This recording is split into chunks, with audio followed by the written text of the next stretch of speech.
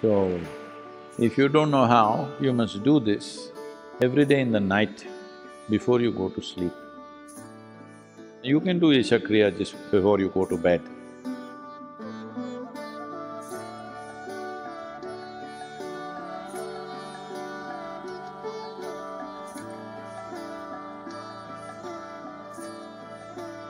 Just for a few minutes and even lying down, you just do it and fall asleep.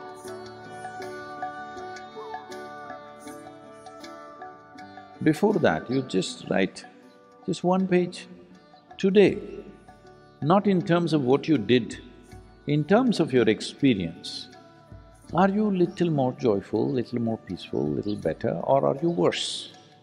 Just keep a note of this because this is like you're doing business. If you're keeping your accounts good, see what you write for the income tax, it's up to you. But for you to run the business, you're keeping proper accounts, then you know you're moving forward or backward.